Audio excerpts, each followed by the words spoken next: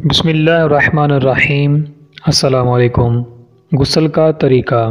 जब गसल का इरादा हो तो पहले इस्तंजा करें और किसी जगह ज़ाहरी नापाकी लगी हो तो उसको धो लें। फिर वज़ू करें जैसा नमाज़ के लिए वज़ू करते हैं।